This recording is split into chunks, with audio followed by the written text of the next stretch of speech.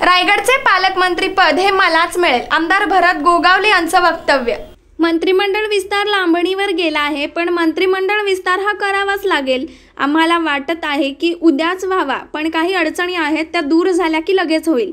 रायगडचे पालकमंत्रीपद मलाच मिळेल. काही कारणास्तव विस्तार थांबलेला आहे. अधिवेशनाच्या आधी व्हावा अशी सर्वांची अपेक्षा आहे. मुख्यमंत्री आणि उपमुख्यमंत्री जे देतील ते आम्ही पद घेऊ असे यावेळी शिंदे गटाचे आमदार भरत गोगावले यांनी सांगितलं.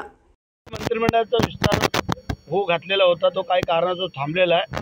परंतु अधिवेशनाच्या आतमध्ये होईल अशी सगळ्यांची अपेक्षा आहे. काय झाला तर अधिवेशनाच्या नंतर होईल. पण ज्या वेळेला होईल त्यावेळेला होईल.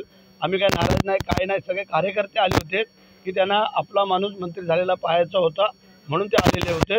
परंतु आज न झाल्यामुळे आता त्यांना सांगितलं की तुम्ही आपापल्या गावाला आपल्या घरी आपल्या तालुक्यात आपल्या जिल्ह्यात जावं.